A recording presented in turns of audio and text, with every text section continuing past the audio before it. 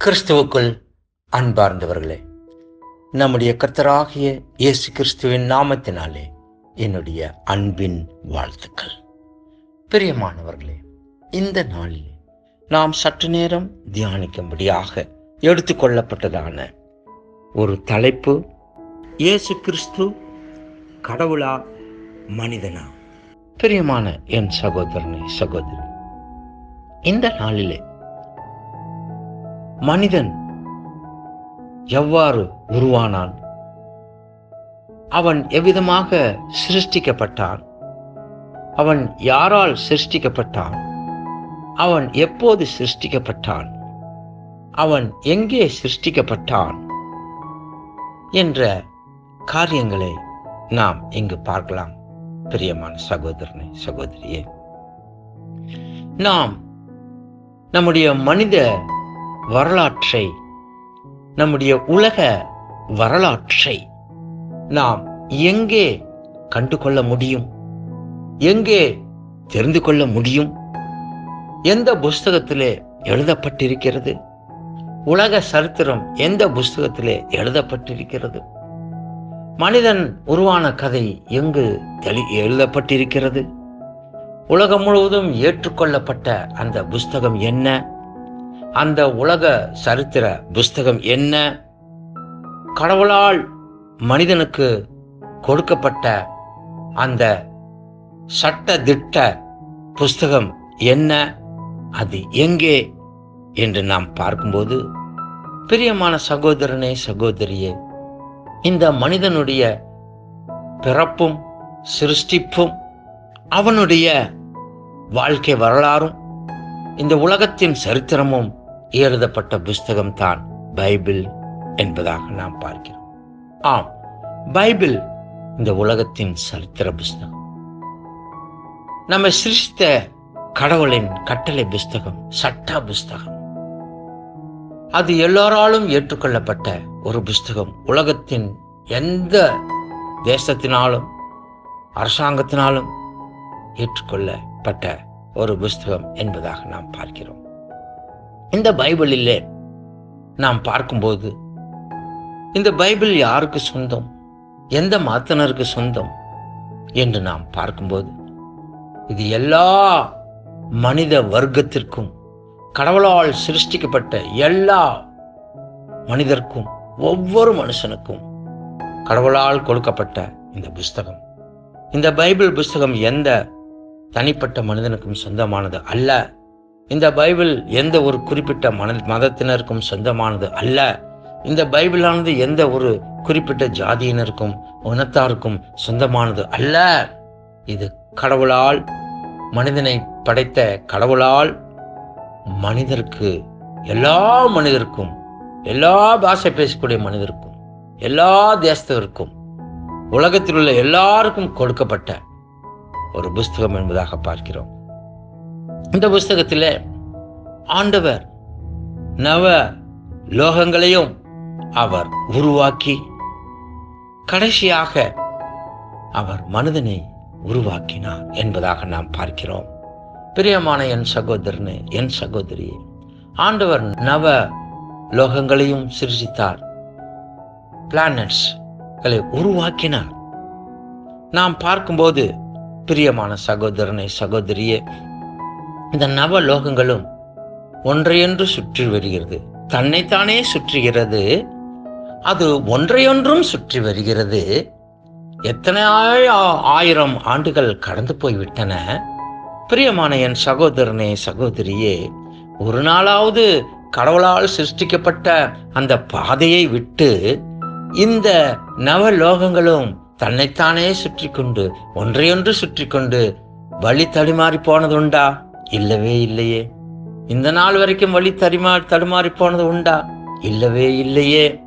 பிரியமான என் சகோதரனே என் சகோதரியே கடவுளால் சிருஷ்டிக்கப்பட்ட இந்த நவலோகங்களும் தன்னைத்தானே சுற்றி கொண்டு ஒன்றையொன்று சுற்றி வந்து தன்னுடைய கடமையை ஒழுங்காக செய்வதை நாம் பார்க்கிறோம் இந்த ஆயிரக்கணக்கான வருடங்களாக.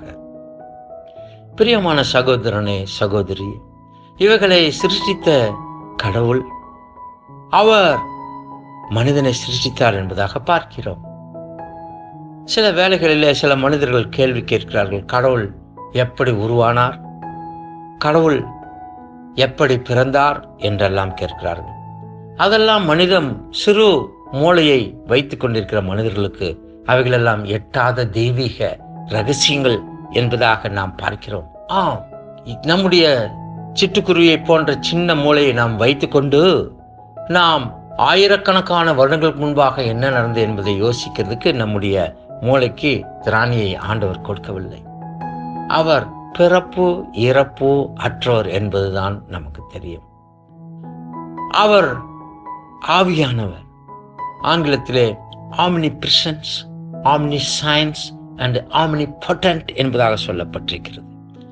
அவர் கடவுள் சர்வ வல்லமை உள்ளவர். அவருக்கு மிஞ்சின வல்லமை இந்த உலகத்திலே கிடையாது. சூப்பர் நேச்சுரல் பவர் என்பதாக சொல்லுகிறார்கள் அல்லவா சர்வ வல்லமை உள்ளவர். ஆமினிபொட்டன்ட் காட் இஸ் ஆமினி ரெண்டாவதாக அவர் எப்படிப்பட்டவராம்? காட் இஸ் ஆமினி பிரசன்ஸ் அவர் சர்வ வியாபகர். அவர் ஆமினி சயின்ஸ் என்பதாக பார்க்கிறோம். அவர் சர்வ ஞானி. நம்மை சிருஷித்த கடவுள் சர்வ ஞானி.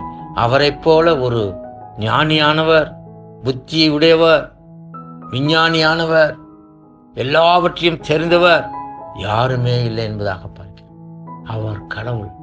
நாம் மனிதர்கள். அவர் சிருஷ்டிகர் நாம் சிருஷ்டி.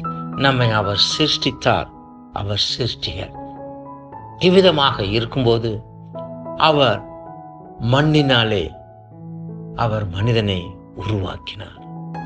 மண்ணினாலே அவனை உருவாக்கினார் என்பதாக நாம் பார்க்கிறோம் பிரியமானவர்களே. அந்த மனிதனுக்கு அவர் ஆதாம் என்று பெயரிட்டார். ஆதாம் என்று பெயரிட்டார்.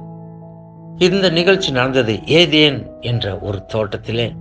அவர் ஒரு தோட்டத்தை உருவாக்கி அதிலே மண்ணினாலே மனிதனை உருவாக்கினார் என்பதாக பார்க்கிறோம். இந்த இடம் எந்த இடத்தில் இருக்கிறது என்று பார்க்கும்போது அங்கு உலகத்தின் மத்திய பாகியமாகிய அந்த இஸ்ரேல் பாலஸ்தீனா அந்த இட அந்த இடத்திலே உலகத்தின் மத்திய பாகத்திலே அந்த இடத்திலே அந்த ஏதேன் தேடத்தை அவர் உருவாக்கினார் என்பதாக பார்க்கிறோம். அதோடு மாத்திரமல்ல அவர் அந்த மண்ணினாலே உருவாக்கின மனிதன் அவனுக்கு பெயர் ஆதாம் என்று பெயரிட்டார். அதோடு மாத்திரமல்ல ஆதாம் என்று பெயரிட்டது அதோடு மாத்திரமல்ல அவன் மண்ணினாலே உருவாக்கப்பட்ட ஒரு மனிதன்.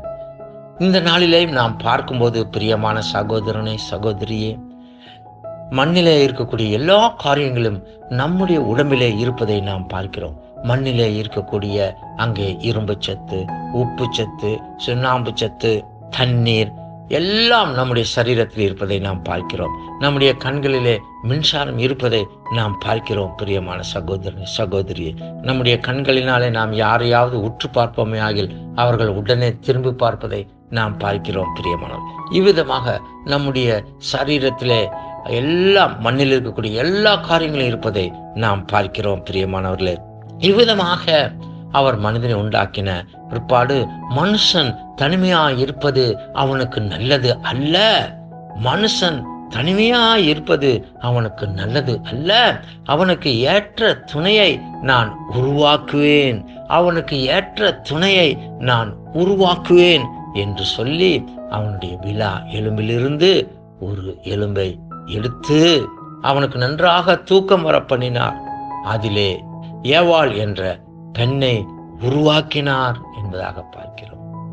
ஏவாள் என்ற பெண்ணை அவர் உருவாக்கினார் என்பதாக நாம் பார்க்கிறோம் பிரியமானவர்களே. இவ்விதமாக ஆதாம் ஏவாள் முதல் மனிதர்கள் முதல் ஆணும் முதல் பெண்ணும் ஆண்டவரால் சிருஷ்டிக்கப்பட்டு அவர்களுக்கு பிறந்த சந்ததிதான். நம்முடைய மனித சந்ததி என்பதாக பார்க்கிறோம். அந்த நாட்களிலே உலகத்து முழுவதும் மனிதர்களே கிடையாது. அங்கே மனிதர்கள் இல்லாதோடு மாத்திரமல்ல ஆதாம் ஏவாளிலிருந்து பிறந்தவர்கள் தான் மனிதர்கள் என்பதாக நாம் பார்க்கிறோம் பிரியமானவர்களே. அவர்களுக்குள் ஒருவரை ஒருவர் திருமணம் செய்து ஏனால் ஏனென்றால் வேறு எங்கும் மனிதர்களே இல்லை மனித வர்க்கமே இல்லை. ஆகவே அந்த நேரத்திலே அவர்களுக்குள்ளே ஒருவர் ஒருவருக்கொருவர் திருமணம் செய்து அதாவது கணவன் மனைவியைப் போல வாழ்ந்து அவ்விதமாக பழுகி பெருகிய மக்கள் தான் மனித குலம் என்பதாக நாம் பார்க்கிறோம் பிரியமானவர்களே. அவ்விதமாக மனித குலம் கொஞ்சம் கொஞ்சமாக பெருக ஆரம்பித்த போது அங்கே என்ன நடந்தது என்றால் கடவுள் மனிதனோடு அவர் அந்த நாட்களிலே பேசினார் என்பதாக பார்க்கிறோம். கடவுள் மேகத்தின் மேலிருந்து மிகுந்த சத்தமாக மனிதர்களோடு பேசினார் என்பதாக பார்க்கிறோம். அப்போது மனிதர்கள் எல்லாம் மலைகளை மேலே சென்று அங்கே கடவுளோடு நேருக்கு நேராக பேசினார்கள் என்பதாக பார்க்கிறோம். அவர் மேகத்தின் மேலிருந்து அந்த கடவுளுடைய சத்தம் வரும்போது அவருடைய பிரசன்னம் வரும்போது ஆவியாய் அவருடைய பிரசன்னம் வரும்போது மனிதர்கள் கடவுளோடு பேசினார்கள் என்பதாக பார்க்கிறோம். கடவுளும் மனிதனோடு பேசினார் என்பதாக நாம் பார்க்கிறோம் பிரியமான சகோதரனே சகோதரியே. இவ்விதமாக அங்கே கடவுள் மனிதனோடு பேசி கொண்டிருக்கிறதான நேரங்களிலே ஆண்டவர் ஒரு காரியத்தை கண்டார். தன்னால் சிருஷ்டிக்கப்பட்ட மனிதன் தன்னால் சிருஷ்டிக்கப்பட்ட மனிதன் அங்கே பலவிதமான அக்கிரமங்களையும் பாவங்களையும் செய்து அங்கே திருடி பொய் பேசி மாற்றானுக்கு மனைவியாய் நியமிக்கப்பட்ட பெண்ணை அவன் கற்பழித்து அவன் கடத்தி கொண்டு போய் அவளோடு கூட பாவம் செய்தபடியினாலே ஆண்டவர் மனம் நொந்து போனார். ஆண்டவர் வேதனைப்பட்டார். நான் பரிசுத்தராய் இருக்கிறது போல நீங்களும் பரிசுத்தராய் இருங்கள் என்று சொன்ன தேவன் மனிதனிடத்தில் காணப்பட்ட இப்படிப்பட்டதான அக்கிரமங்களினாலே அநியாயத்தினாலே பாவத்தினாலே அவர் மனம் நொந்தார் என்பதாக நாம் பார்க்கிறோம் பிரியமானவர்களே இந்த நாட்களிலேயும் நீங்கள் உலகத்திலே எங்கு சென்றாலும் பாருங்கள் ஒரு மலையின் மேலே அங்கே கோயில் கட்டப்பட்டிருக்கும். அது எந்த மதத்தை சேர்ந்த கோயிலாக இருந்தாலும் பரவாயில்லை. அங்கே மலையின் மேலே கோயில் கட்டப்பட்டிருக்கும் என்பதாக நாம் பார்க்கிறோம் பிரியமானவர்களே. அங்கே அதுதான் இதனுடைய காரணம். மலையின் மேல் கோயில்கள் கட்டப்பட்ட காரணமே இதுதான் என்பதாக நாம் பார்க்கிறோம் பிரியமானவர்களே.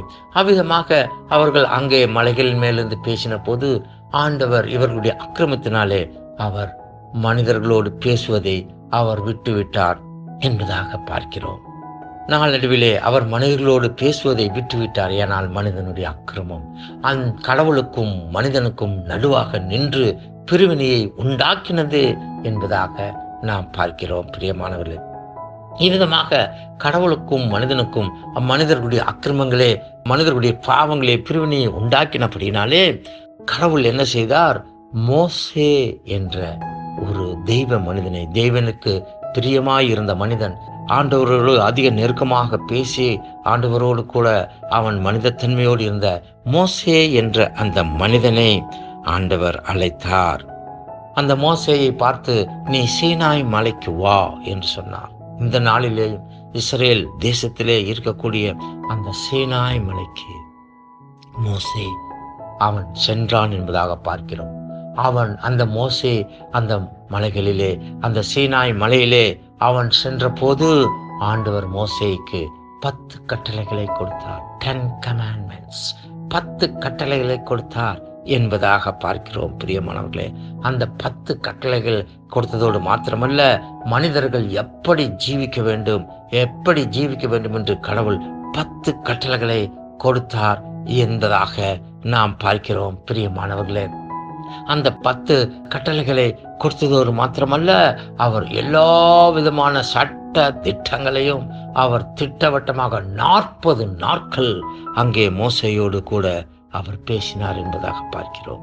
மோசையோடு கூட பேசினார் என்பதாக பார்க்கிறோம். ஆம் மோசே அங்கே சீனாய் மலைக்கு சென்றபோது அங்கே ஒரு முற்செடியிலே தீப்பற்றி இருந்ததை நாம் பார்க்கிறோம். அந்த தீப்பற்றி இருந்த அந்த இடத்திலே ஆண்டவர் தோன்றினார். என்பதாக கடவுள் தோன்றி அவனோடு பேசினார் என்பதாக பார்க்கிறோம். அப்போதுதான் அவர் சொன்னார் உன் பாதரட்சைகளை அங்கே கலட்டி போடு என்று சொன்னார். ஆம் எத்தனையோ வேதங்கள் இந்த உலகத்திலே இருக்கிறது. எந்த வேதத்திலேயாவது கடவுள் மனிதனை பார்த்து உன் பாதரட்சிகளை அங்கேயே கழட்டி விட்டு வா என்று சொன்ன ஒரு காரியம் உண்டா? இல்லவே இல்லையே. அது வேதாகமத்திலே பைபிள் வேதாகமத்திலே மாத்திரம்தான் இருப்பதை நாம் பார்க்கிறோம் பிரியமானவர்களே ஆகவே ஆண்டவர் மோசைக்கு நாற்பது நாட்கள் எல்லா சட்ட திட்டங்களையும் அவர் கொடுத்தார் என்பதாக நாம் பார்க்கிறோம். இந்த பத்து கட்டளைகளை மோசைக்கு கொடுத்த இவர்தான் சர்வ வல்லமையுள்ள கடவுள் மாத்திரமல்ல மனிதர்களாகிய நம்மையும் நவ கிரகங்களையும் மற்ற லோகங்களையும் உருவாக்கின வல்ல சர்வ வல்லமையுள்ள கடவுள் ஆண்டவர். இவர் உருவம் இல்லாதவர். இவர் ஆவியானவர். இவர் ஒரே தெய்வம் என்பதாக பார்க்கிறோம். நம்ம எல்லாம் சிருஷ்டித்த ஒரே கடவுள் மேலோக கடவுள் என்பதாக பார்க்கிறோம். இந்த ஒரே கடவுளைத்தான் மக்கள் பகவான் என்று சொல்லுகிறார்கள். இஸ்லாம் சகோதரர்கள் அவரை அல்லாஹ் என்று சொல்லுகிறார்கள். கிறிஸ்தவர்கள் அவரை கர்த்தர் என்று சொல்லுகிறார்கள். ஆகவே ஒரு வீட்டிலே மூத்த மகன் தன்னுடைய தகப்பனை அப்பா என்று கூப்பிடுவது போலவும் இரண்டாவது மகன் தன்னுடைய அதே தகப்பனை டாடி என்று கூப்பிடுவது போலவும் மூன்றாவது மகன் அதே அப்பாவை நைனா என்று கூப்பிடுவது போலவும் இவ்விதமாக ஒவ்வொருவரும் ஒரே கடவுள் அந்த கடவுளை பகவான் என்றும் அல்லாஹ் என்றும் கர்த்தர் என்றும் கூறுவதை நாம் பார்க்கிறோம். பிரியமானவர்களே அவர் மோசையை பார்த்து இந்த பத்து கட்டளைகளை கொடுக்கிறார். அந்த ஒரே சர்வ வல்லமையுள்ள எல்லாவற்றையும் சிரித்த கடவுள் ஆவியானவர் என்பதாக பார்க்கிறோம். அவர் சர்வ வியாபகர் சர்வ ஞானி சர்வ வல்லமையுடையவர் என்பதாக பார்க்கிறோம். அவர் omnipresence omniscience and omnipotent என்பதாக நாம் பார்க்கிறோம் பிரியமானவர்களே. அவர் கொடுத்த இந்த பத்து கட்டளைகள் யாவை? அவைகளை. இப்போது பார்ப்போம். முதலாவது கட்டளை மனிதர்களாக நமக்கு அவர் கொடுத்த முதலாவது கட்டளை என்ன என்று பார்க்கும்போது என்ன என்றி உனக்கு வேறே தேவர்கள் உண்டாயிருக்க வேண்டாம். என்ன என்றி உனக்கு வேறே தேவர்கள் உண்டாயிருக்க வேண்டாம். திட்டமும் தெளிவுமாக அவர் சொல்லுகிறார். மேலே வானத்திலும் கீழே பூமியிலும் பூமியின் கீழ் தண்ணீரிலும் உண்டாயிருக்கிறவர்களுக்கு ஒப்பான ஒரு சொரூபத்தை ஆகிலும் யாதொரு விக்கிரகத்தை ஆயிலும் நீ உனக்கு உண்டாக்க வேண்டாம். இதுதான் முதலாவது கட்டளை என்பதாக பார்க்கிறோம். அங்கே இரண்டாவது கட்டளை என்ன என்று நாம் பார்க்கும்போது நீ அவைகளை நமஸ்கரிக்கவும் சேகரிக்கவும் வேண்டாம். நீ அவைகளை நமஸ்கரிக்கவும் சேகரிக்கவும் வேண்டாம். உன் தேவனாகிய கர்த்தராய் இருக்கிற நான் எரிச்சலுள்ள தேவனாயிருந்து என்னை பகைக்கிறவர்களை குறித்து பிதாக்களுடைய அக்கிரமத்தை பிள்ளைகளிடத்தில் மூன்றாம் நான்காம் தலைமுறை மட்டும் விசாரிக்கிறவராய் இருக்கிறேன் என்பதாக சொல்வதை நாம் பார்க்கிறோம் பிரியமானவர்களே. மூன்றாவது கட்டளையாக அவர் சொன்ன காரியம் என்ன? உன் தேவனாகிய கர்த்தருடைய நாமத்தை வீணிலே வழங்காதிருப்பாயாக. கர்த்தர் தம்முடைய நாமத்தை வீணிலே வழங்குகிறவனை தண்டியாமல் விடான். எதற்கெடுத்தாலும் கர்த்தர் கர்த்தர் என்று சொல்ல வேண்டாம் என்பதாக கூறுகிறார். அங்கே நான்காவது கட்டளை என்ன என்று பார்க்கும்போது ஓய்வு நாளை பரிசுத்தமாய் ஆச்சரிக்க நினைப்பாயாக. ஆறு நாளும் நீ வேலை செய்து உன் கிரிகைகளை எல்லாம் நடப்பிப்பாயாக. ஏழாம் நாளோ உன் தேவனாகிய கர்த்தருடைய ஓய்வு நாள் அதிலே நீயானாலும் உன் குமாரனானாலும் உன் குமார்த்தியானாலும் உன் வேலைக்காரனானாலும் உன் வேலைக்காரியானாலும் உன் மிருக ஜீவனானாலும் உன் வாச வாசல்களிலே இருக்கிற அந்நியனானாலும் யாதொரு வேலையும் செய்ய வேண்டாம் என்பதாக நாம் பார்க்கிறோம் பிரியமானவர்களே. நான்காவது சு- கட்டளை சொன்னது மாத்திரமல்ல ஐந்தாவதாக நாம் அங்கே பார்க்கும்போது உன் தேவனாகிய கர்த்தர் உனக்கு கொடுக்கிற தேசத்திலே உன் வாழ்நாள் உன் நாட்கள் நீடித்திருப்பதற்கு உன் தகப்பனையும் உன் தாயையும் கனம் பண்ணுவாயாக. உன் தகப்பனையும் உன் தாயையும் கனம் பண்ணுவாயாக. உன் தகப்பனையும் உன் தாய்க்கும் நீ கொடுக்க வேண்டிய மரியாதையை நீ கொடுத்து அவர்களை நீ கௌரவித்து அவர்களை சந்தோஷப்படுத்தி அவர்களை நீ கனம் பண்ணுவாயாக என்பதாக சொல்லப்பட்டிருக்கிறது. அதோடு மாத்திரம் அல்ல இங்கே ஆறாவது கட்டளையை பார்க்கும்போது கொலை செய்யாதிருப்பாயாக. கொலை செய்யாதிருப்பாயாக. ஏழாவது கட்டளையை பார்க்கும்போது விபச்சாரம் செய்யாதிருப்பாயாக. இங்கு எட்டாவது கட்டளையாக ஆண்டவர் என்ன சொல்லுகிறார்? களவு செய்யாதிருப்பாயாக. அதாவது திருடாதிருப்பாயாக. ஒன்பதாவது கட்டளை என்ன என்று பார்க்கும்போது பிறனுக்கு விரோதமாய் பொய் சாட்சி சொல்லாதிருப்பாயாக. பிறனுக்கு விரோதமாய் பொய் சாட்சி சொல்லாதிருப்பாயாக.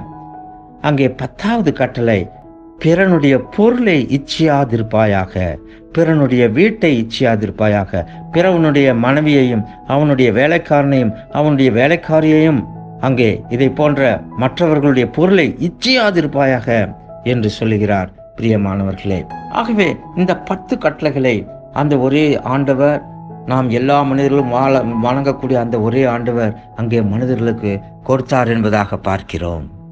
பிரியமானவர்களே இவ்விதமாக ஆண்டவர் இந்த பத்து கட்டளைகளை கொடுத்த பிறகு மனிதனை பார்த்தார்.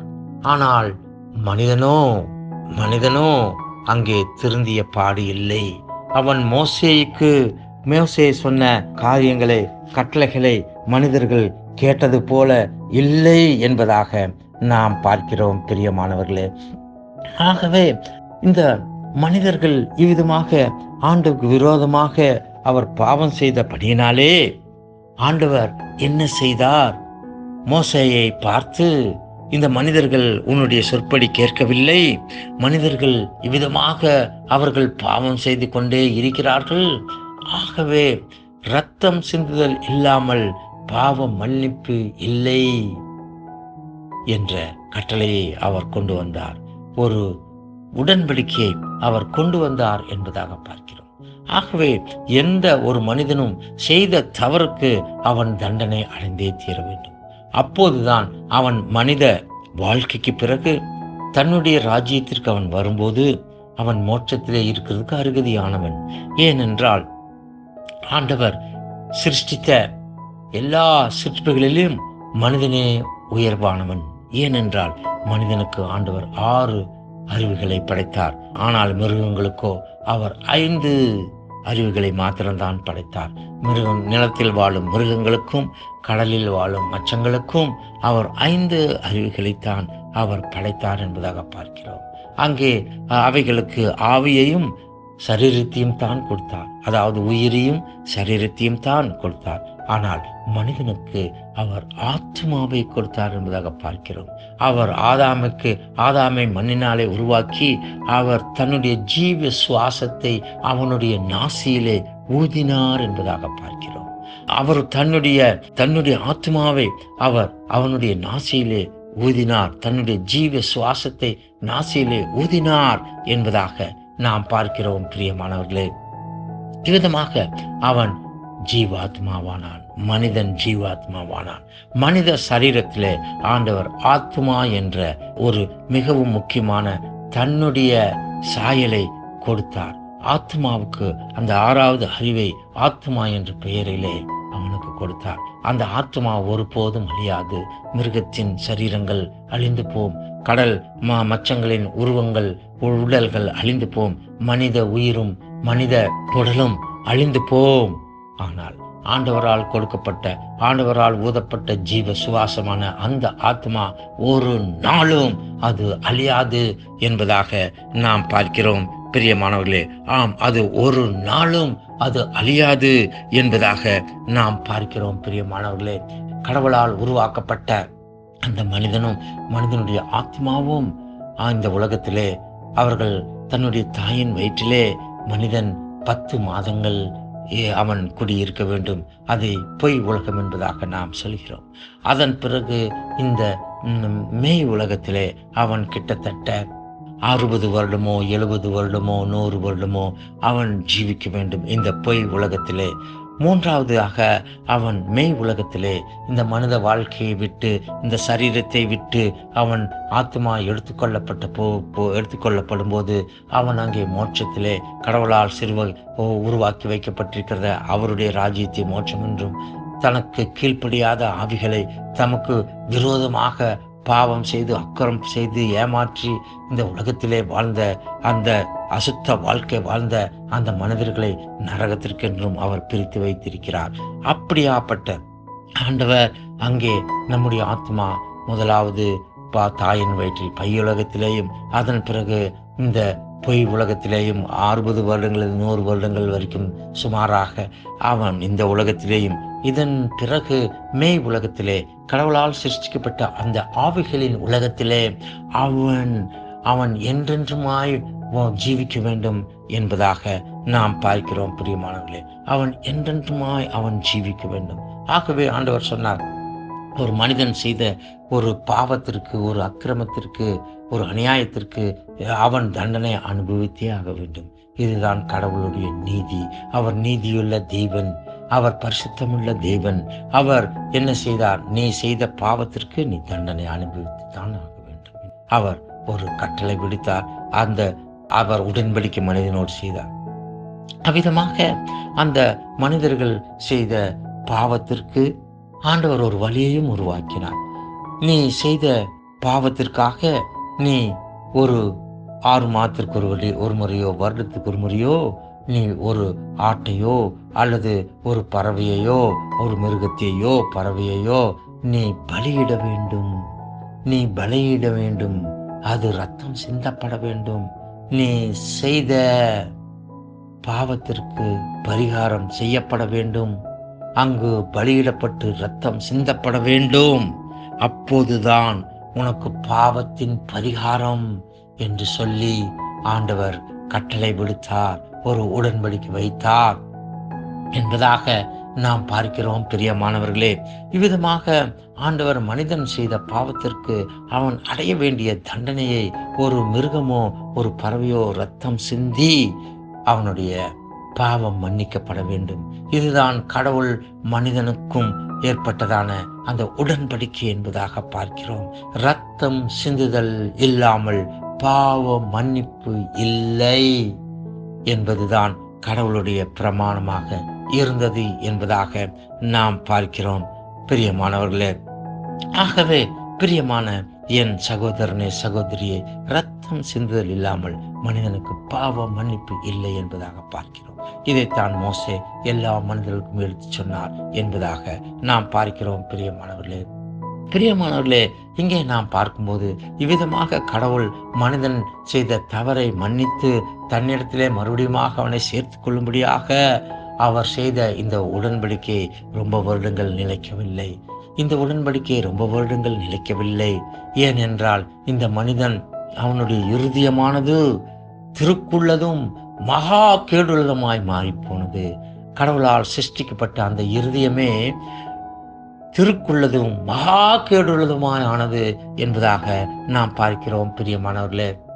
இந்த மனிதன் என்ன செய்தான்? தன்னுடைய வாழ்நாளிலே நமக்குத்தான் ஒரு வழி பிறந்து விட்டதே நமக்குத்தான் பாவ மன்னிப்புக்கு ஒரு வழி கடவுள் கொடுத்து விட்டாரே ஆகவே நாம் வாழ்நாளெல்லாம் தினமும் நாம் பாவம் செய்வோம். பொய் பேசுவோம் திருடுவோம் மாற்றான் மனைவியை அபகரிப்போம் விபச்சாரம் செய்வோம். இன்னும் என்னென்ன பாவங்கள் செய்ய வேண்டுமோ எல்லாவற்றையும் நாம் செய்துவிட்டு ஆறு மாதத்துக்கு ஒரு முறை அல்லது ஒரு வருடத்திற்கு ஒரு முறை ஒரு மிருகத்தையோ பறவையோ நாம் பலியிட்டு ரத்தம் சிந்தி நாம் பாவ மன்னிப்பை பெற்றுக்கொள்வது எவ்வளவு சுலபம் என்று சொல்லி மனிதன் தன்னுடைய பாவ வாழ்க்கையிலே ஜீவித்தான். தொடர்ந்து பாவ வாழ்க்கையிலே ஜீவித்தான் என்பதாக நாம் பார்க்கிறோம் பிரியமான ஆகவே பிரியமான சகோதரனே சகோதரியே இவைகளையெல்லாம் கண்ணோக்கி பார்த்த கடவுள் அவர் என்ன நினைத்தார்?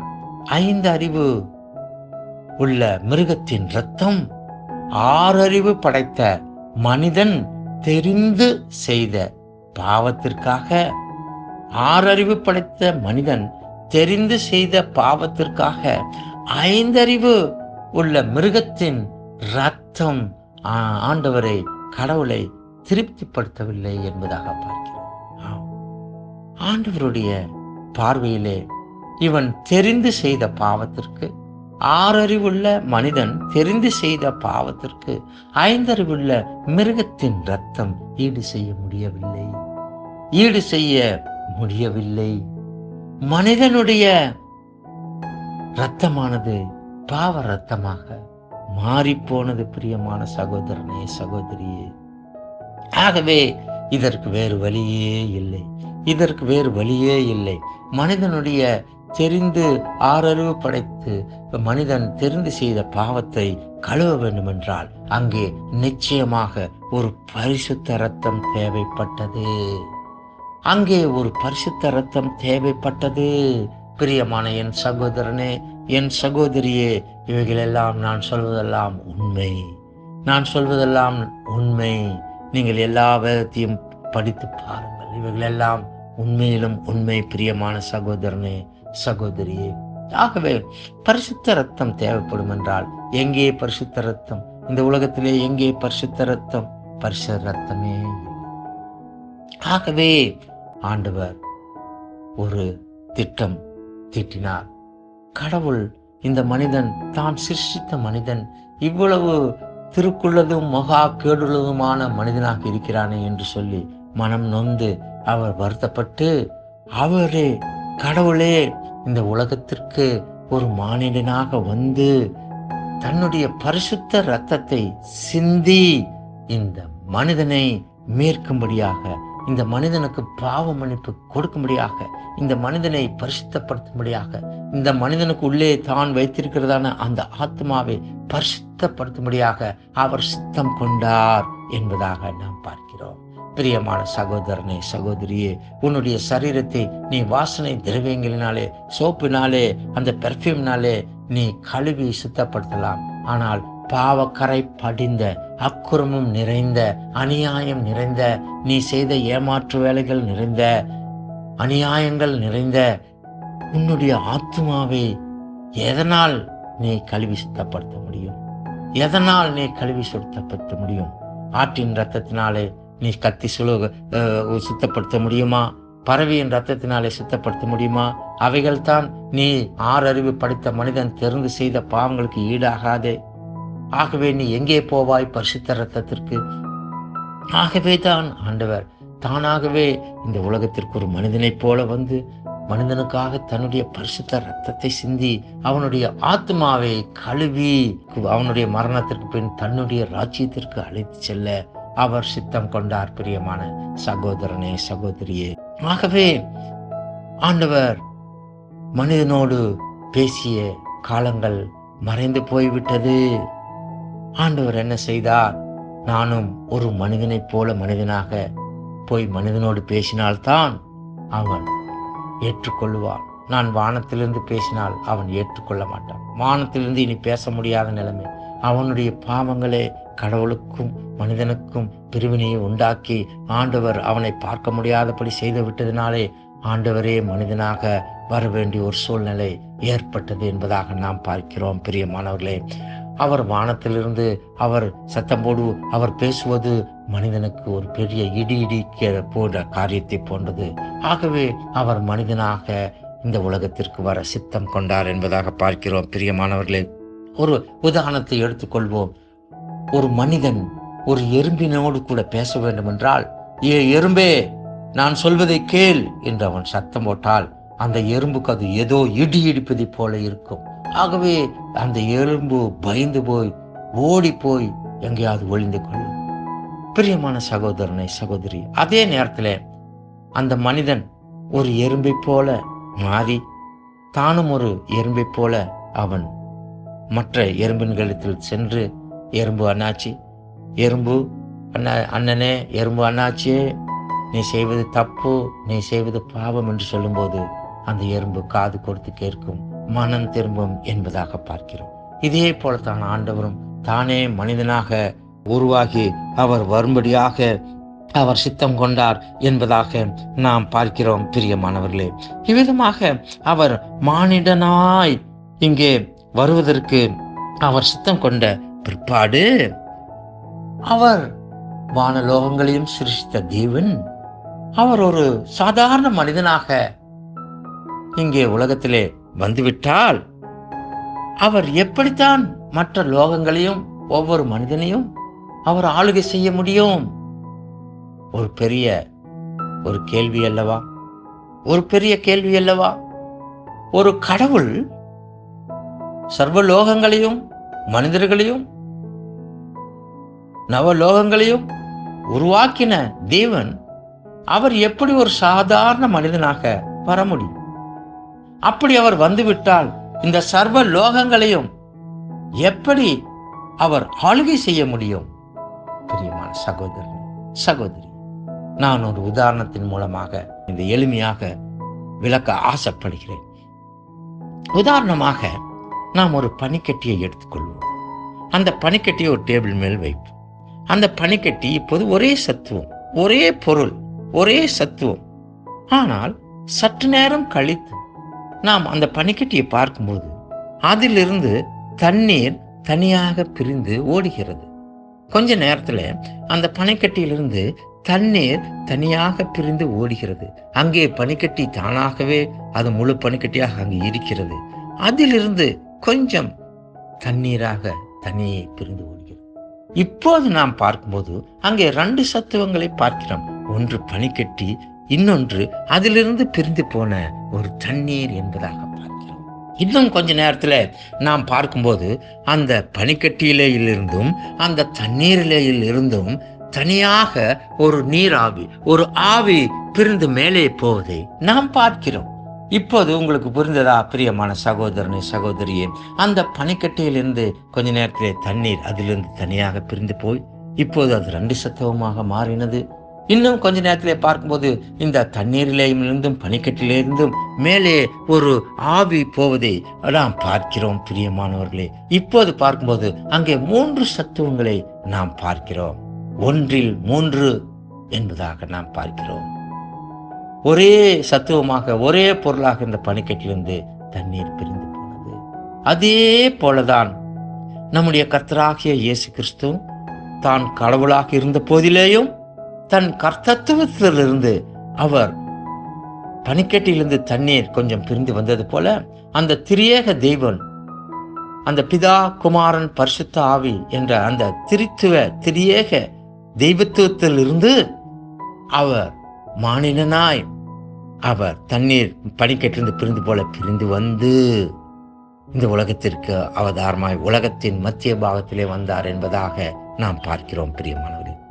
இதில் இன்னொரு முக்கியமான விஷயம் என்னவென்றால் அங்கே மூன்றாக பிரிந்த அந்த பனிக்கட்டி பனிக்கட்டி அதிலிருந்து பிரிந்த தண்ணீர் அதிலிருந்து இந்த பனிக்கட்டிலேயும் தண்ணீரிலேயும் இருந்த அந்த ஆவி இந்த மூன்றையும் நாம் மறுபடியும் குளிர வைப்போமே ஆகில் அங்கே மறுபடியுமாக அந்த மூன்றும் ஒரே பொருளாக ஒரே பனிக்கட்டியாக மாறிவிடும் என்பதாக பார்க்கிறோம். இதே போல ஆண்டவர் மனிதனுடைய பாவங்களுக்காக ரத்தம் சிந்தும்படியாக இந்த உலகத்திலே வந்த தேவன் அவர் தன்னுடைய ரத்தம் சிந்தி சிலுவையிலே மனிதர்களுக்காக ரத்தம் சிந்தி மனிதனுக்காக பாவ மனுவை மன்னிப்பை உருவாக்கிவிட்ட பிற்பாடு அவர் தன்னுடைய தான் வந்த இடத்திற்கே தான் தேவனாய் இருந்தாரே அந்த தேவனுடைய திருத்துவத்திலே அவர் மறுபடியுமாக போய் சேர்ந்தார் என்பதாக நாம் பார்க்கிறோம். பிரியமானவர்களே இதைத்தான் ஏ- ஏ- கர்த்தராகிய இயேசு கிறிஸ்து கடவுள் இயேசு கிறிஸ்துவா இந்த மனிதர் அவதாரம் எடுத்து வருவதற்கு முன்பதாகவே ரெண்டாயிரத்தி எட்நூறு இப்போதிருந்து ரெண்டாயிரத்தி எட்நூறு வருடங்களுக்கு முன்பதாக அவர் அவர் வருவதற்கு எட்நூறு வருடங்களுக்கு முன்பதாகவே அங்கே அங்கே ஏசையா தீர்க்கதர்சி அங்கே உரைத்தார் தீர்க்க தரிசனம் உரைத்தார் என்பதாக பார்க்கிறோம். கடவுள் மனிதனாவதற்கு முன்பதாகவே அவர் தீர்க்க தரிசிகளை கொண்டு இங்கே நடக்கக்கூடிய எல்லா காரியங்களையும் அவர் தீர்க்க தரிசனமாய் உரைத்தார் என்பதாக பார்க்கிறோம். அதில் தான் அங்கே ஏசையா தீர்க்கதரிசி அங்கே ஒன்பதாம் அதிகாரம் ஆறாம் வசனத்திலே அவர் என்ன சொல்கிறார் என்றால் நமக்கு ஒரு பாலகன் பிறந்தார். நமக்கு ஒரு குமாரன் கொடுக்கப்பட்டார். கர்த்தத்துவம் அவர் தோளில் மேல் இருக்கும். அவர் நாமம் அதிசயமானவர். ஆலோசனை கர்த்தா வல்லமையுள்ள தேவன் நித்திய பிதா சமாதான பிரபு எனப்படும் என்று அங்கே ஏசையா ஒன்பதாம் அதிகாரம் ஆறாம் வசனத்திலே அவர் திட்ட வட்டமுமாக அவர் சொன்னதை நாம் தீர்க்கதேசமாய் உயர்த்ததை நாம் பார்க்கிறோம். அங்கேதான் அவர் நமக்கு ஒரு பாலகன் பிறந்தார். ஆம் கடவுள் மனிதனாய் ஒரு குழந்தையாய் அவர் பிறந்தார் என்பதாக பார்க்கிறோம். நமக்கு ஒரு பாலகன் பிறந்தார். நமக்கு ஒரு குமாரன் கொடுக்கப்பட்டார். கர்த்தத்துவம் அவர் தோளின் மேல் இருக்கும். கர்த்தத்துவம் கடவுளுடைய வல்லமை அவர் தோளின் மேல் இருக்கும் அவர் நாமம் அவருடைய பெயர் அதிசயமானவர். ஆலோசனை கர்த்தா ஆலோசனை சொல்லும் கடவுள் ஆலோசனை கர்த்தா. வல்லமையுள்ள தேவன் அவர் வல்லமையுள்ள ஆண்டவர். வல்லமையுள்ள கடவுள் அவர் ஆலோசனை கர்த்தா. வல்லமையுள்ள தேவன் சமாதான பிரபு எனப்படும்.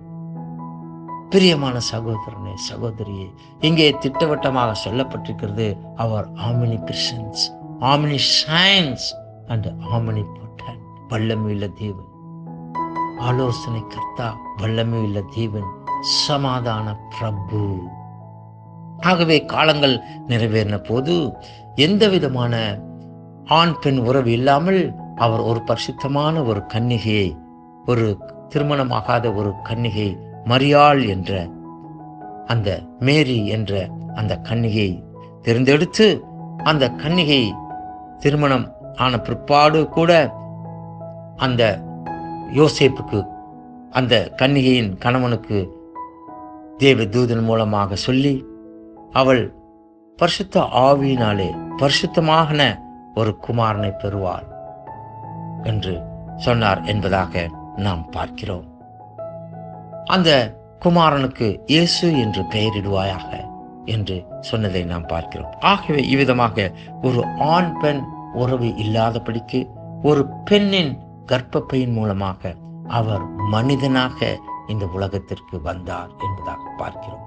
அவருடைய சரீரம் மனுஷிகமாய் இருந்தது ஆனால் அவருடைய உயிரோ அவருடைய ஆவியோ அவருடைய ஆத்மா தெய்வீகமாய் இருந்தது தெய்வீக வல்லமையுள்ளவராய் இருந்தார் என்பதாக நாம் பார்க்கிறோம். இவ்விதமாகத்தான் ஆண்டவர் இந்த உலகத்திலே மனிதனாக வந்து முப்பத்தி மூன்று வருடங்கள் அவர் இந்த உலகத்திலே அவர் ஜீவித்து அவர் எல்லா விதமான அற்புதங்களையும் அவர் செய்து மனிதனுக்காக அவர் உயிரையும் கொடுத்து இரத்தத்தையும் சிந்தி அவர் பாவ மன்னிப்பை உருவாக்கி சிலுவிலே அறிந்து மூன்றாம் நாள் உயிரோடு எழுந்து அவர் மோட்சலோகத்திற்கு சென்று அவர் தன்னுடைய கர்த்தத்துவ ஸ்தானத்திலே பிதா குமாரன் பரிசுத்தாவி முக்கோணத்தை போன்றதான அந்த திரியேக தெய்வம் திருச்சிவ தெய்வம் திரிசூல் என்று சொல்லப்படுகிற அந்த முக்கோண தெய்வமாக மூன்றில் ஒன்றாக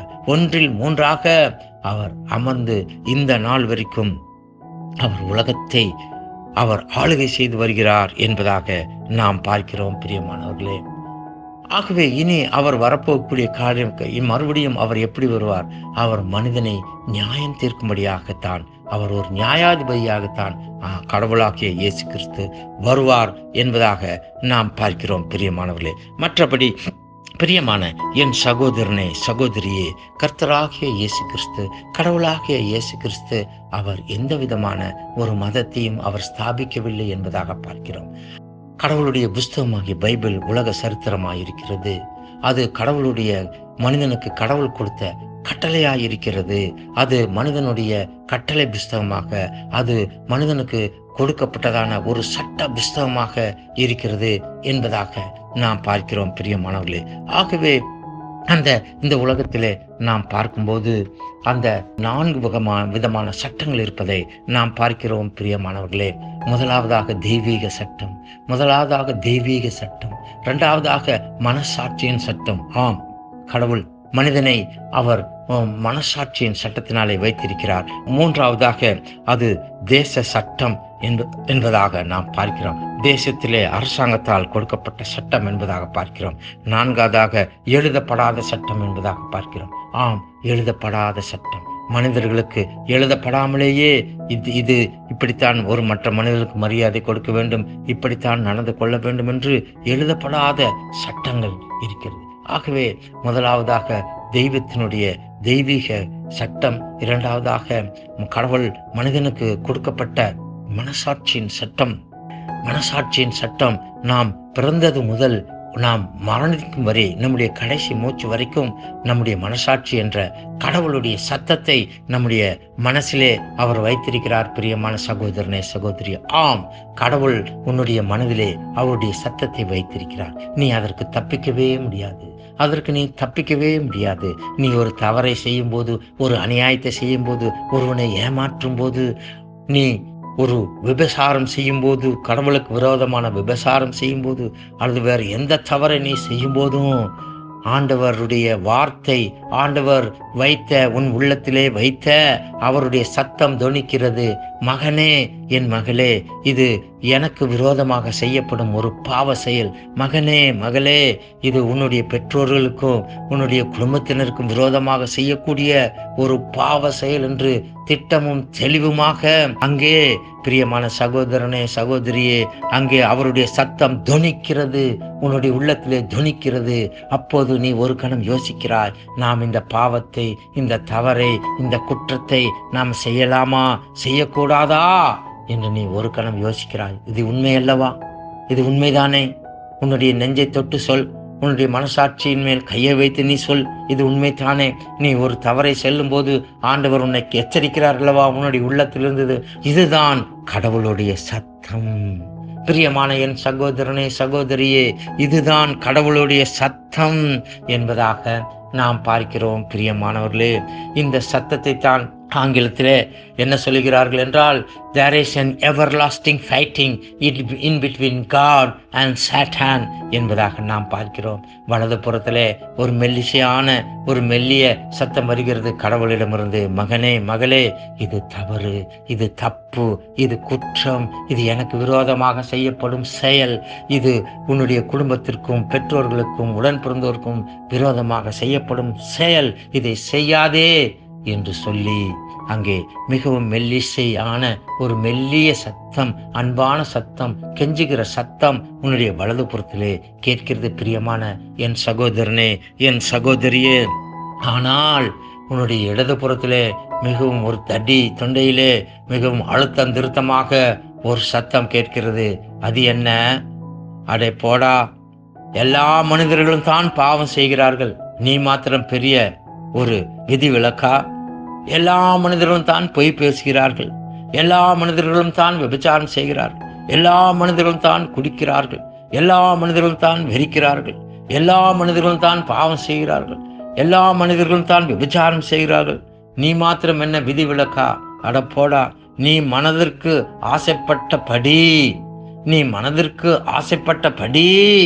நீ உன் இஷ்டம் போல பாவம் செய். உன் இஷ்டம் போல நீ சந்தோஷமாக இரு எல்லா மனிதர்களும் நரகத்திற்கு போய் விடுவார்களா எல்லா மனிதர்களும் அந்த கடவுளுடைய கடவுளை விட்டு நரகத்திற்கு போய் விடுவார்களா நீ செய். எல்லா மனிதர்களும் தானே செய்கிறார்கள். நீயும் செய். என்னென்ன பாவம் செய்ய முடியும் செய். அதெல்லாம் அப்புறம் பார்த்துக்கலாம். அதெல்லாம் அப்புறம் பார்த்து கொள்ளலாம் என்று மிகவும் பயங்கரமான ஒரு சத்தம் உன்னை அழுத்தம் திருத்தமாக உன்னை ஃபோர்ஸ் செய்யக்கூடிய உன்னை கட்டாயப்படுத்தக்கூடிய பாவத்திலே இறங்கி செய் செய் செய் என்று கட்டாயப்படுத்தக்கூடிய அந்த பயங்கரமான சத்தம் அந்த பிசாசின் சத்தம் அந்த சாத்தானின் சத்தம் உன் இடதுபுறத்திலே கேட்கிறதல்லவா?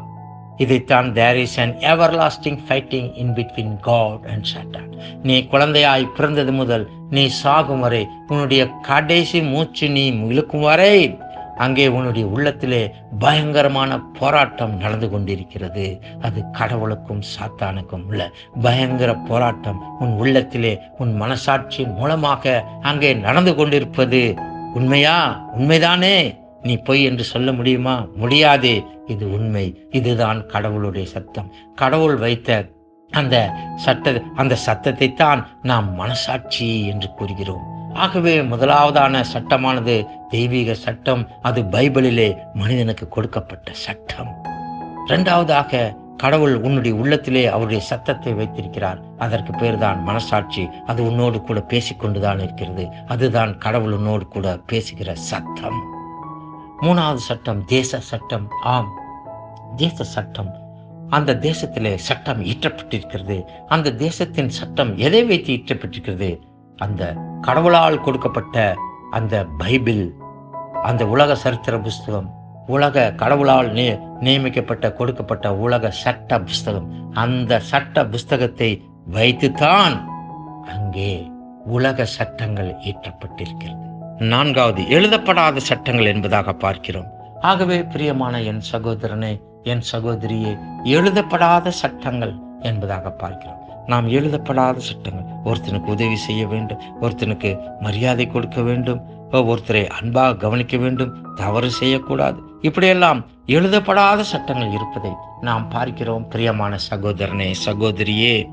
ஆகவே இந்த நான்கு வகையான சட்டங்கள் நாம் பார்க்கிறோம் இந்த உலகத்திலே.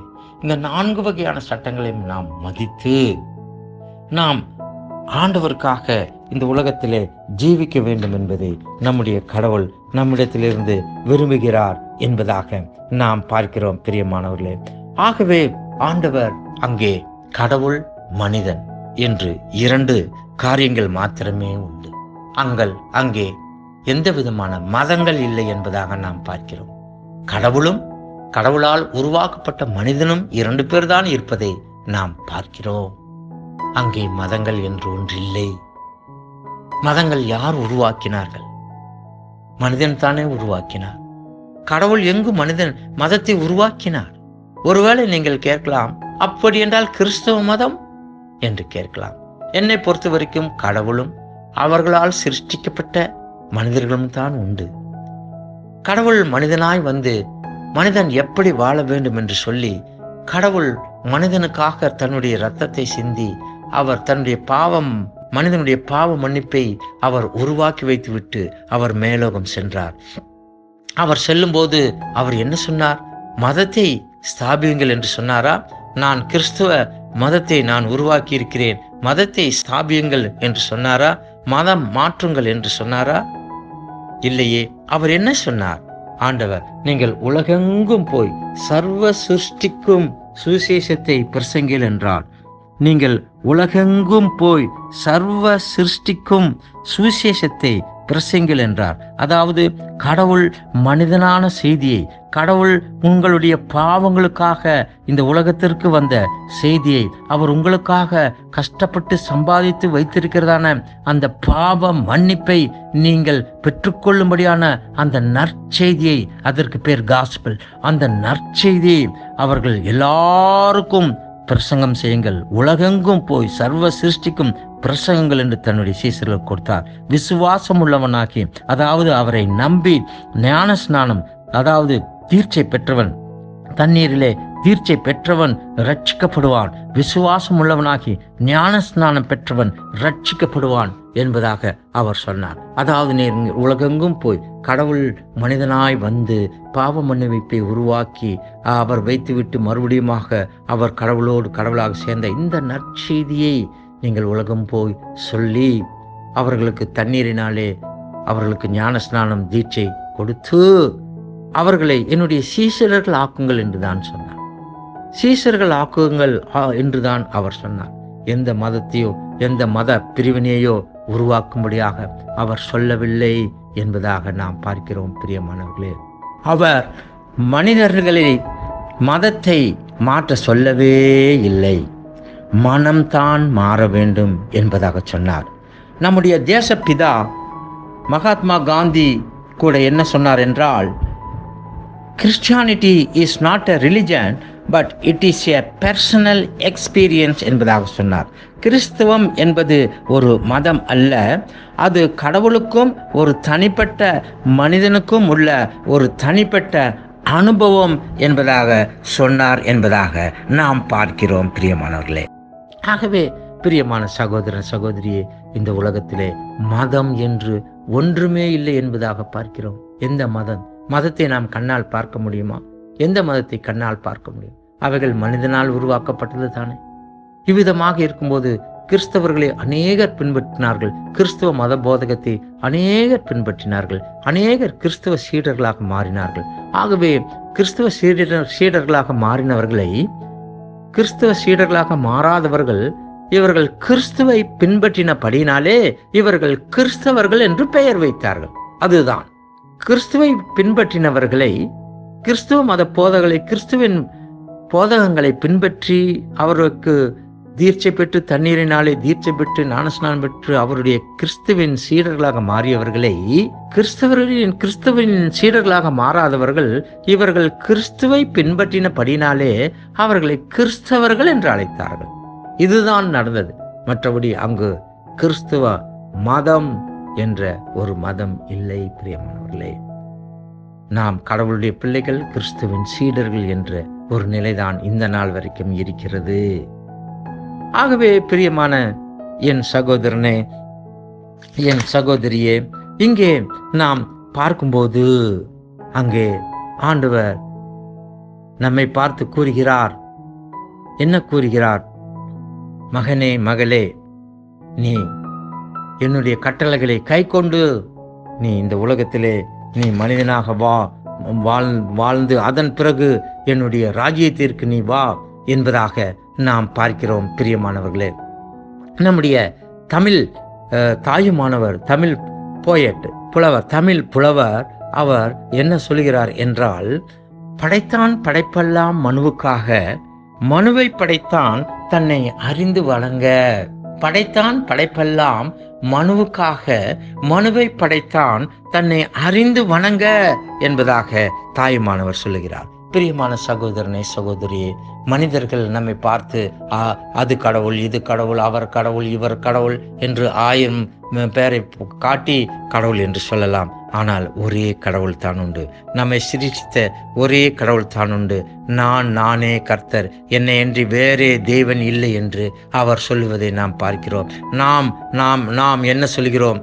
அவர் கடவுள் ஒரே கடவுள் என்பதைத்தான் நாமும் உணர்கிறோம் பிரியமானவர்களே. இந்த உலகத்திலே கடவுள் சிருஷ்டி எல்லாவற்றையும் மனிதனுக்காக ஆண்டவர் படைத்தார். ஆனால் மனிதனை எதற்காக படைத்தான் யார் உண்மையான தெய்வம்? யார் தன்னை சிருஷித்த தேவன்? என்று அறிந்து தன்னை வணங்கும்படியாக படைத்தான் என்பதாக அருமையாக கூறுவதை நாம் பார்க்கிறோம் பிரியமானவர்களே. பிரியமானவர்களே இந்த ஆகவே இந்த நாளிலே நம்மை உருவாக்கின தேவன் நம்மை சிருஷ்டித்த தேவன் மனிதர்களாக நாம் சிருஷ்டித்த தேவன் நாம் நம்முடைய தாயின் வயிற்றிலே பத்து மாதம் இந்த உலகத்திலே கிட்டத்தட்ட அறுபது வருடங்கள் நூறு வருடங்கள். இதன் பிறகு நித்திய நித்தியமாய் நாம் மோட்ச லோகத்திலே கடவுளோடு கூட நாம் சேரும்படியாக நமக்கு பாவ மன்னிப்பை உருவாக்கி வைத்திருக்கிறார். அதற்காகத்தானே அவர் உலகத்திற்கு மனிதனாய் வந்தார். பரிசுத்த ரத்தத்தை சிந்தினார். நாம் அடைய வேண்டிய கஷ்டத்தை நாம் அடைய வேண்டிய தண்டனையை நாம் அடைய வேண்டிய துன்பத்தை நாம் அடைய வேண்டிய துக்கத்தை நாம் அடைய வேண்டிய வேதனையை அவர் தன்மேல் எடுத்துக்கொண்டு அவர் தன் மீது எடுத்துக்கொண்டு. பிரியமான சகோதரனே சகோதரியே அவர் தன் மீது எடுத்துக்கொண்டு ரத்தத்தை சிந்தி நமக்கு பாவ மன்னிப்பை சம்பாதித்து வைத்திருக்கிறாரே. சகோதரனே சகோதரியே பரிசுத்தம் இல்லாமல் யாரும் தேவனை தரிசிக்க முடியாது என்பதாக பார்க்கிறோம்.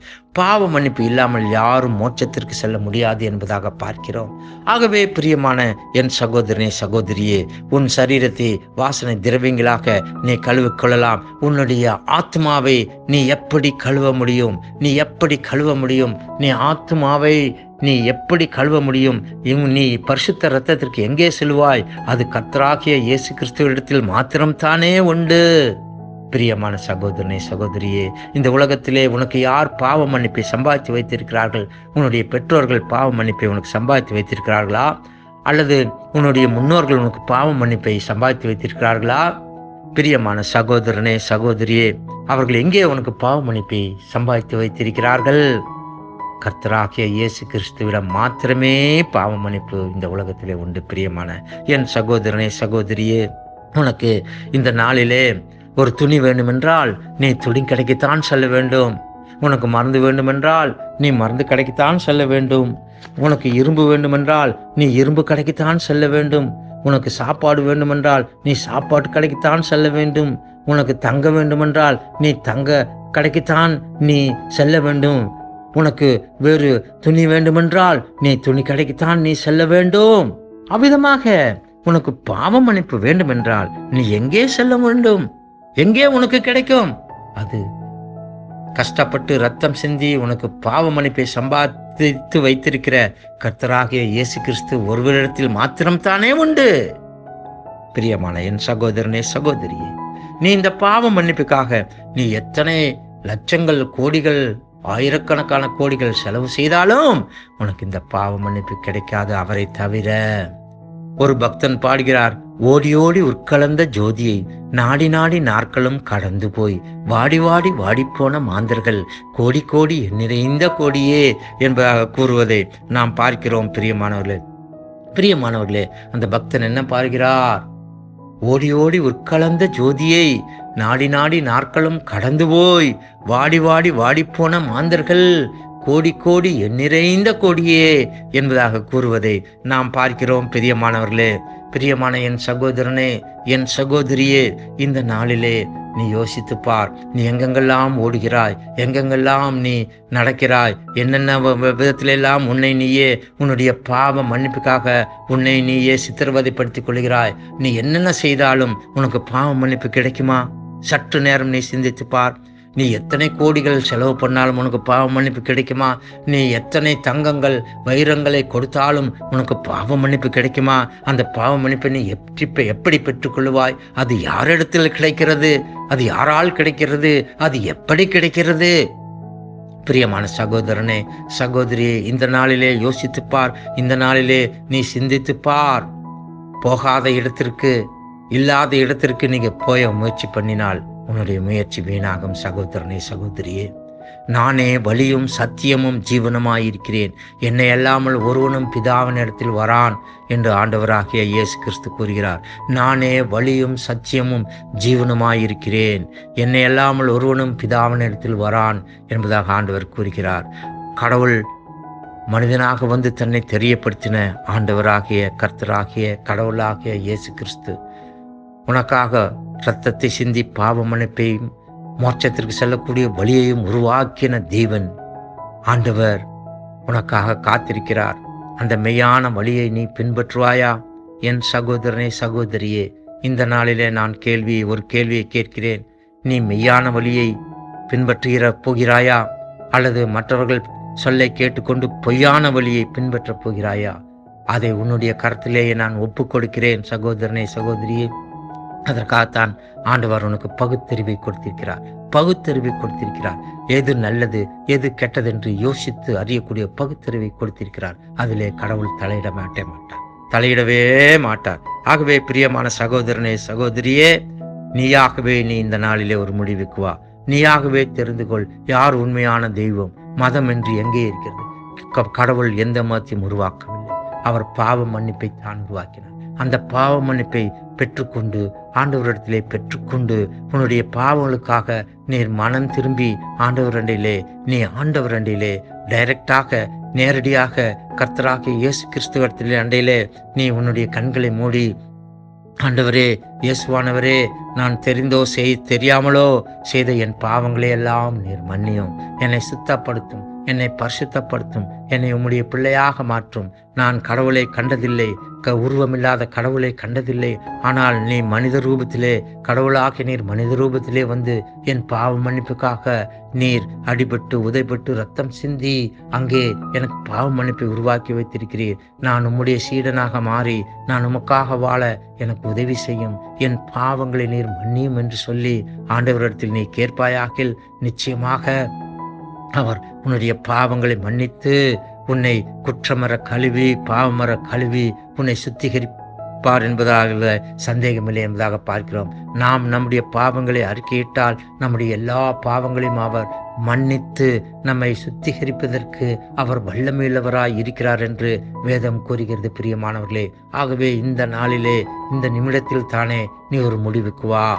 நீ மெய்யான வழியா பொய்யான வழியா எதை நீ இந்த நாளிலே தெரிந்து கொள்கிறாய்? நீயே முடிவு செல் என் சகோதரனே என் சகோதரியே. இந்த நாளிலே நான் ஒரு உண்மை சம்பவத்தை சொல்லி நான் இந்த இந்த ஆண்டவருடைய செய்தியை நான் முடிக்கிறேன் பெரிய மாணவர்களே. ஒரு முறை ஒரு நாள் இரவு ஒரு பயங்கரமான இடியுடன் கூடிய பயங்கரமான ஒரு மழை பெய்தது. பிரியமான என் சகோதரனே சகோதரியே அடுத்த நாள் காலையிலே ஒரு ஒன்பது வயது சிறுவன் அவன் தன்னுடைய ஆடுகளை மேய்த்து கொண்டு அவன் அந்த இடத்திலே சென்று கொண்டிருந்தான். அங்கே சென்று கொண்டிருந்த போது அந்த பயங்கரமான அந்த காட்டு பகுதியிலே ஒரு ரயில் தண்டல்வாளம் இருப்பதை அவன் கண்டான். ஒரு ரயில் பாதை இருப்பதை அந்த ஒன்பது வயது சிறுவன் அவன் கண்டான். அப்போது அவன் கண்ட ஒரு காரியம் என்ன? அங்கே கடந்த இரவிலே பெய்த பயங்கரமான மழையினாலே அங்கு வந்த பயங்கரமான வெள்ளமானது அந்த அந்த ரயில்வே பாதையை அடித்து சென்றிருப்பதை அவன் கண்டான். ஆம் அங்கே கடந்த இரவிலே வந்த பயங்கரமான ஆற்று வெள்ளத்திலே பெய்த மழையிலே வந்த ஆற்று வெள்ளத்திலே அங்கே ரயில்வே பாதை அடித்து செல்லப்பட்டிருப்பதை அவன் பார்த்தான் பிரியமானவர்களே. அப்போது அவனுடைய உள்ளத்திலே ஒன்பது வயது சிறுவனாகி அவனுடைய உள்ளத்திலே என்ன தோன்றியது? ஐயையோ இந்த ரயில்வே பாதை அடித்து செல்லப்பட்டு விட்டதே. ஒருவேளை ரயில் வரும் என்றால் அங்கே தெரியாமல் அந்த ரயில் அங்கே சென்றால் என்ன ஆகும் பயங்கரமான விபத்து ஏறிடும் அல்லவா அந்த அவ்வளோ வேகமாக வ- வரும் ரயில் அங்கே கமிழ்ந்து போகும் அல்லவா என்று சொல்லி அவன் உள்ளம் பதை பதைத்தது அவன் உள்ளம் பதை பதைத்தது வேதனை அடைந்தது. பிரியமான சகோதரனே சகோதரியே அவன் இவ்விதமாக சிந்தித்துக் கொண்டிருக்கும் போதே அங்கே தூரத்திலே அங்கே ரயில் கூவும் சத்தம் கேட்டது. ரயில் வரும் சத்தம் அங்கே அவனுக்கு கேட்டது. அவன் உள்ளம் பதைபதைத்து போனான். அவன் பதறி போனான் என்பதாக நாம் பார்க்கிறோம். அவன் பதறிப்போனான். ஆகவே அவன் என்ன செய்வதென்று தெரியாமல் தடுமாறினான். அவன் உள்ளம் பதறியது. அவன் என்ன செய்வதென்று தெரியாமல் அவன் யோசித்துக் கொண்டிருந்தான். இவ்வளவு வேகமாக வரும் அந்த ரயிலை அந்த ட்ரெயினை அந்த புகவண்டியை எப்படி நிறுத்தப் போகிறேன்? எவ்வளவு எவ்- எந்த விதத்திலே நான் அந்த டிரைவருக்கு நான் செய்தி சொல்ல முடியும்? அதை நிறுத்தும்படியாக. இங்கே தண்டவாளம் உடைந்து போயிருக்கிறதே என்று சொல்லி அடித்து செல்லப்பட்டிருக்கிறதே வெள்ளத்திலே என்று சொல்லி நான் எப்படி தெரியப்படுத்த வேண்டும் என்று அவன் மனம் கசந்தான். அவன் மனம் வேதனை அடைந்தான் என்பதாக நாம் பார்க்கிறோம். அவன் அவனுடைய உள்ளத்திலே அப்போது ஒரு பெரிய ஒரு ஒ- ஒரு எண்ணம் வந்தது. அவன் நினைத்தான் இந்த பயங்கரமான வேகத்திலே வரும் அந்த புகை வண்டி அந்த ட்ரெயின் இங்கு வந்து ஒருவேளை கமிழ்ந்தால் அதில் எத்தனை மக்கள் வருகிறார்களோ? எத்தனை குழந்தைகள் வருகிறார்களோ? எத்தனை வியாதியஸ்தர்கள் வருகிறார்களோ? எத்தனை வயதானவர்கள் வருகிறார்களோ? எத்தனை கற்பிணி பெண்கள் வருகிறார்களோ? ஐயோ! எல்லாவற்றையும் விட என்னை பெற்ற என்னுடைய அன்பு தாயைப் போல எத்தனை பெண்கள் வருகிறார்களோ? ஐயோ அவன் யோசித்தான் யோசித்தான். கதறினான். என்ன செய்வது தெரியவில்லை. ஐயோ அங்கே ட்ரெயின் வரும்போது வரக்கூடிய தூரம் மிக நெருங்கி விட்டது அது கண்ணால் பார்க்கக்கூடிய நிலைமை. ஐயோ வந்துவிட்டது. நான் எப்படி நிறுத்துவேன்? கதறினான் பதறினான். பிரியமான சகோதரனே சகோதரியே அப்போது அவனுக்கு ஒரு எண்ணம் வந்தது. ஒரு ஒரு ஆலோசனை வந்தது. அவனுடைய உடம்பிலே இடுப்பிலே ஒரு கோவணம் தவிர ஒன்றுமில்லை. அவனுடைய தோளின் மேலே ஒரு ஒரு சின்ன ஒரு துண்டு என்கிற அந்த துணியை தவிர ஒன்றுமில்லை. உடனே அவனுக்கு ஒரு ஆலோசனை வந்தது. ஒரு சிகப்பு கொடியை காட்டினால் ரயிலை நிறுத்தலாமே என்று நாம் பள்ளியிலே படித்தமல்லவா? ஆகவே ஒரு சிகப்பு கொடியை காட்டினால் அந்த ட்ரெயினை நிறுத்தி விடலாமே அந்த டிரைவர் பார்த்தால் நிறுத்தி விடுவாரே என்று சொல்லி அவன் தேடுகிறான் எங்கே போவான்? அந்த காட்டிலே சிகப்பு கொடிக்கு. ஐயோ சிகப்பு கொடி இல்லை என்றால் எத்தனை மக்கள் கொஞ்ச நேரத்திலே சாகப் போகிறார்கள்? ஐயோ வேதனைப்பட்டான். அப்போது அவனுக்கு ஒரு ஆலோசனை வந்தது. அவன் தன் தோளின் மேல் இருக்கக்கூடிய அந்த வெள்ளை துணியை எடுத்தான். அதை ஒரு அதை கிழித்தான். ஒரு கொடியை ஒரு வெள்ளை துணியை ஒரு கொடியை போல ஆகும் அளவிற்கு அதை அவன் கிழித்தான். அவன் என்ன செய்தான் தெரியுமா பிரியமானவர்களே? ஒரு பெரிய கல்லை எடுத்தான். அந்த கல்லின் மேலிலே அந்த வெள்ளை துணியை வைத்தான். இன்னொரு பெரிய கல்லை எடுத்தான். தன்னுடைய பிஞ்சு விரல்களை ஒன்பது வயது குழந்தை பையன் சிறுவன் தன்னுடைய பிஞ்சு விரல்களை அந்த வெள்ளை துணியின் மேலே வைத்தான். தன்னுடைய இன்னொரு கல்கள் கல்லை எடுத்து அந்த பிஞ்சு விரலை அவன் அடித்தான். வேகமாக அடித்தான். வேதனை தாங்க முடியவில்லை. வலி தாங்க முடியவில்லை. மறுபடியும் வேகமாக அடித்தான். அதிலிருந்து ரத்தம் பீரிட்டு வந்தது. அந்த சிறுவனுடைய கரங்களிலிருந்து விரல்களிலிருந்து ரத்தம் பீரிட்டு வந்தது. பிரியமான சகோதரனே சகோதரியே அந்த ரத்தத்தை அவன் அந்த வெள்ளை துணியிலே தடவினான் என்பதாக பார்க்கிறோம். ஓ அந்த வெள்ளை துணி அவனுடைய ரத்தத்தினாலே அது சிகப்பாக மாறியது. அவன் பட்ட வேதனையினாலே அவனுடைய தியாக மனப்பான்மையினாலே அவன் பட்ட துன்பத்தினாலே அவன் துன்பத்திற்கு தன்னை ஒப்பு கொடுத்தபடினாலே பெரிய கல்லை எடுத்து தன்னுடைய பிஞ்சு விரல்களை நசுக்கினாலே அதிலிருந்து வந்த ரத்தத்தினாலே வெள்ளை துணியானது அங்கே சிவப்பு துணியாக மாறியது என்பதாக பார்க்கிறோம் பிரியமான சகோதரனே சகோதரியே. ஓ இப்போது தனக்கு சிகப்பு கொடை கிடைத்து விட்டது. தன்னுடைய துன்பத்தினாலே தன்னுடைய வேதனையினாலே தன்னுடைய வியாக தியாக மனப்பான்மையினாலே ஓ எனக்கு சிகப்பு துணி கிடைத்து விட்டது. அந்த சந்தோஷத்திலே அவன் சிகப்பு துணியை எடுத்துக்கொண்டு ஓடுகிறான். ரயில்வே ட்ராக்ல ஓடுகிறான். ஓடுகிறான்.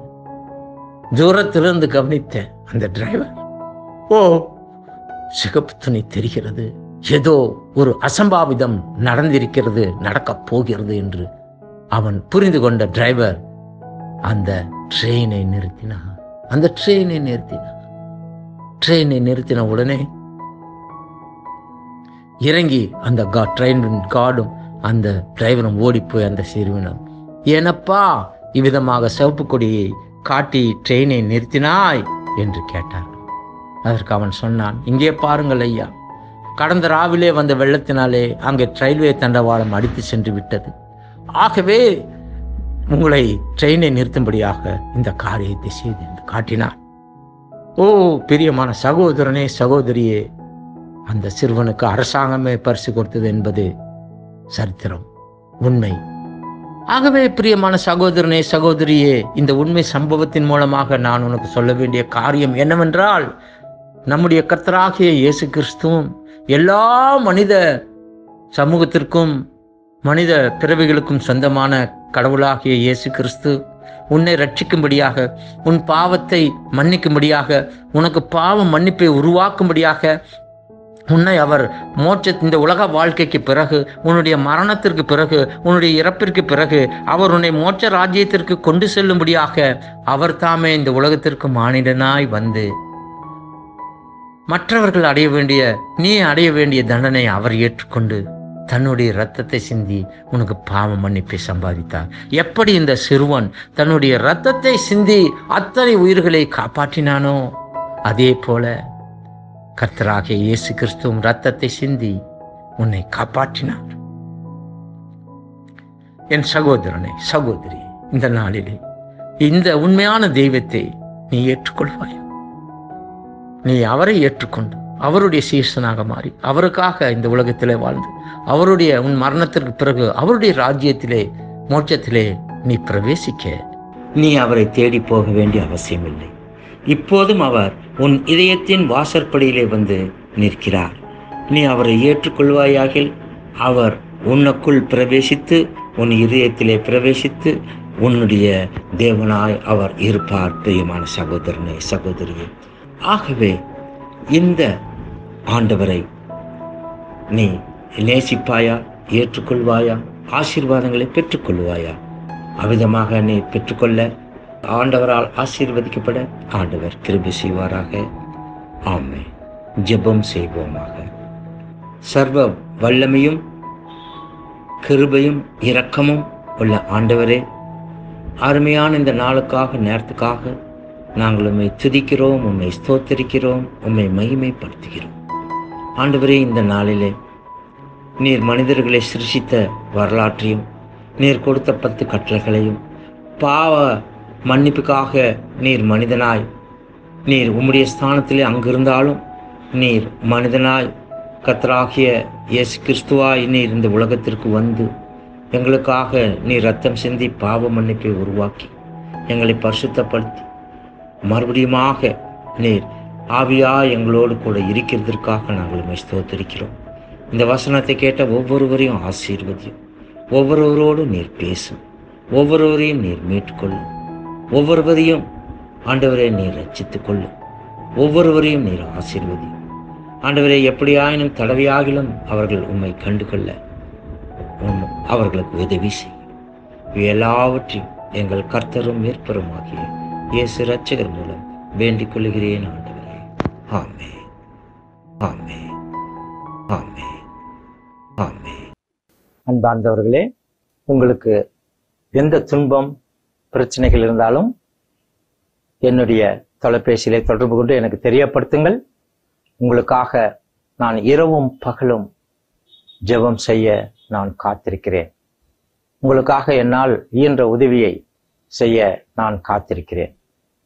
என்னுடைய தொலைபேசி எண் double nine six two zero eight zero two one four இன்னொரு number nine eight double one seven nine four double zero four என்னுடைய email ID ரவ் Jayasingh at Yahoo dot com REP JAYASINGH at Yahoo dot com கத்தத்தாமே உங்கள் அனைவரையும் ஆசீர்வதிப்பாராக.